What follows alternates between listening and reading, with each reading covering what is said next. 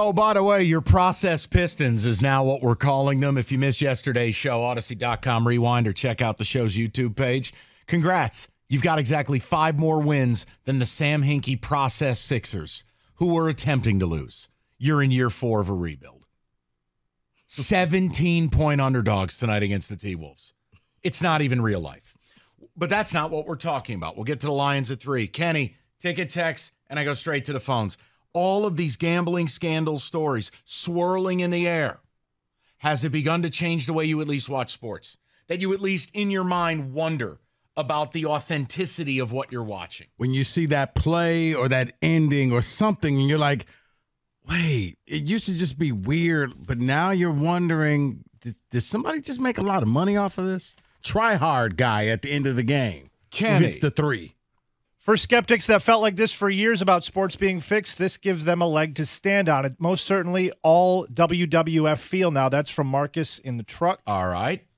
Anyone who didn't see this coming due to legalized sports betting is either stupid or lives under rainbows and roses. That's from Paul from Shelby. Paul, appreciate you, brother, and that's why I'm bringing it up. I don't think it's appropriate for us to just look. You get to a point. The Jontay Porter thing. Do I believe that's tip of the iceberg? Yeah, I do.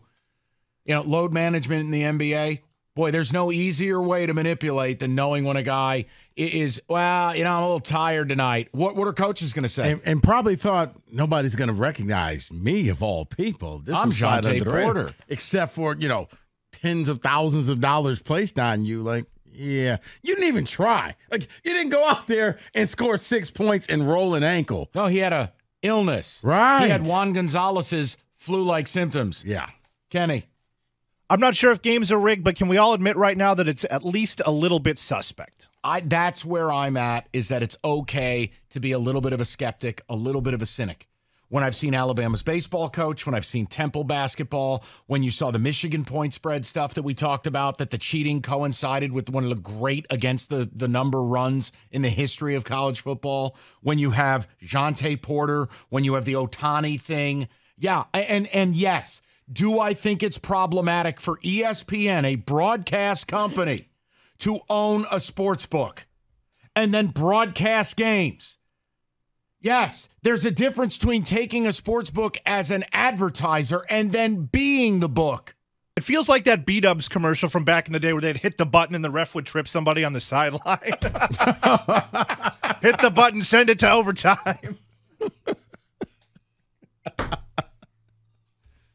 And overtime it is.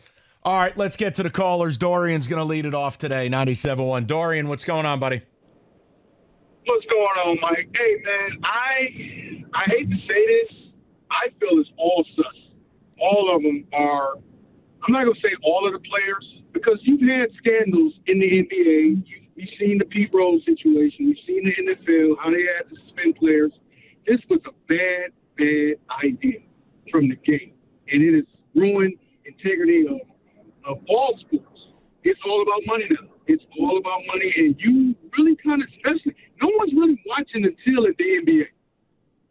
No one's really watching what these guys are doing. Are they gambling? Hello? Listening to you, Dorian. Didn't want to stop you. Oh, oh, and I'm just, I'm just, I'm just of the adage that, yeah, that it's compromised. And I feel like whenever I'm watching games, even look, even them lousy pissing games, like, dude, if some, if the refs aren't stealing it from you, or calling games, I mean, or or calling, you know, fouls, or or just missing totally stuff, it's just, is the refs in it? Who's who's behind all of the draft teams? Who's behind all of this? Yeah, it's got to be the players too. They all have to be benefiting some kind of way. Yeah, especially just- Dorian, just- like with especially in the NBA and the low management.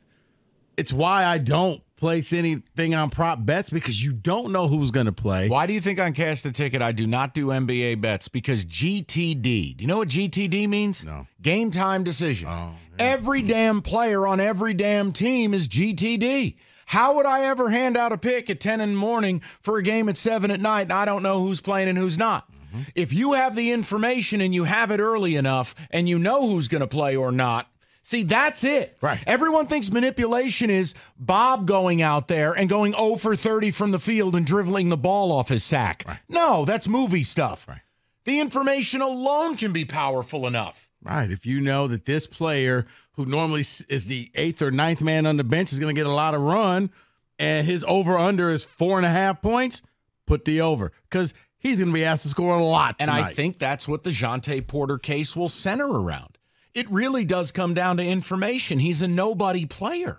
And yet he's the most popular prop of the night. The right people got the right information and thought they had an angle, and they're slamming under his total.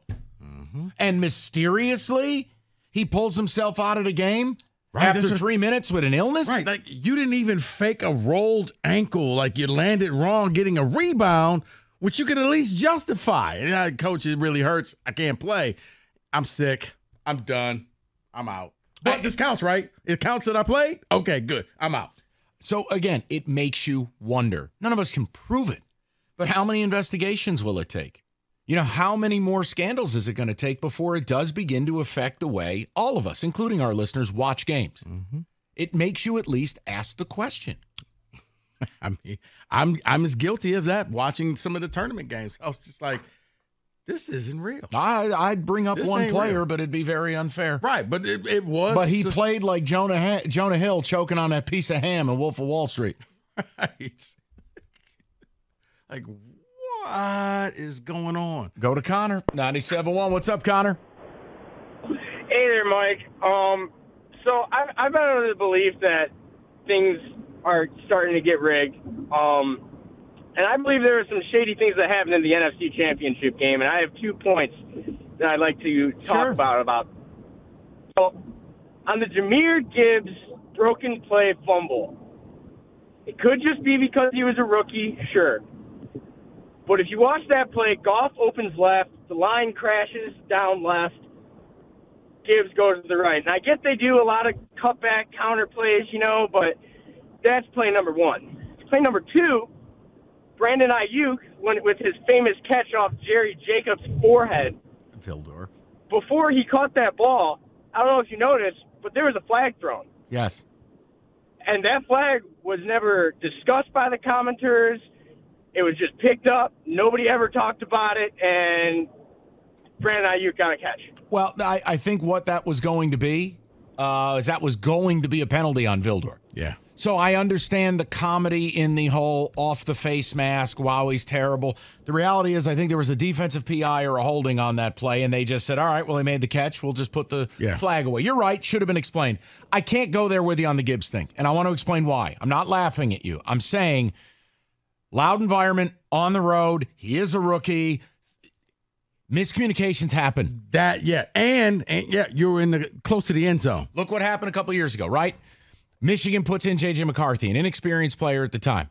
Late in the game, Spartan Stadium, the place going nuts. The 21 game. Yeah. What happens? Bad exchange. Yep. I'm not accusing anybody of anything. It's a different quarterback with a different mesh point and a bad result. Yep. Bleep happens.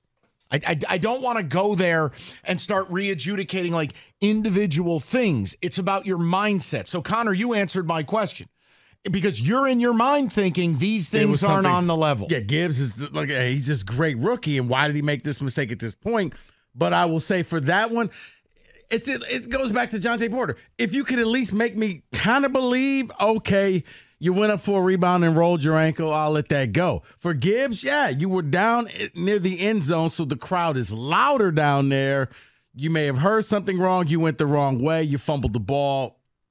That I'm okay with. But there are times where you're just like, what? Really? Okay.